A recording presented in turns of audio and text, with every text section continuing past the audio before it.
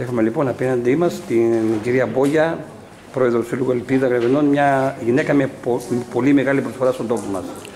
Δύο λόγια για την σημερινή εκδήλωση, κυρία Μπόγια. Ναι, η σημερινή εκδήλωση προέκυψε από μια περίπτωση που θέλαμε να στηρίξουμε ενός παιδιού στην Κοζάνη ε, και απευθυνθήκαμε στο σύλλογο που μας ε, υπέδειξαν και μας είπαν ότι είναι ο σύλλογος που ε, ενδιαφέρεται για την μετάδοση της ιδέας να γίνουμε δότες ε, μυελού των οστών και βρεθήκαμε να τους καλούμε εδώ για να προσφέρουμε στους πολίτες των Γρεβενών τη γνώση που χρειάζεται για να μπορέσουν να γίνουν εύκολα ε, δότες μυελού των οστών.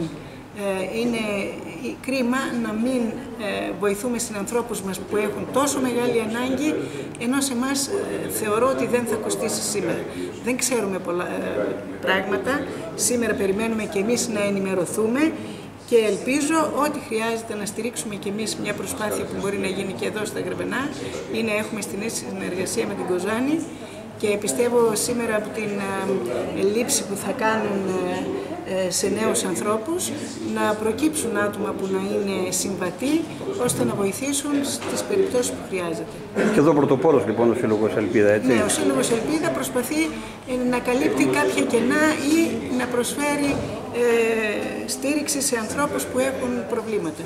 Έτσι κι αλλιώς εμείς έχουμε βοηθήσει πάρα πολλούς καρκινοπαθείς για να μπορέσουν τουλάχιστον να πλησιάσουν σε ιατρικά κέντρα γιατί σήμερα με την κρίση που υπάρχει δυστυχώς δεν έχουν τη δυνατότητα να πάνε ούτε στην Κοζάνη, στη Θεσσαλονίκη, στα Γιάννενα για να μπορέσουν να εξυπηρετήσουν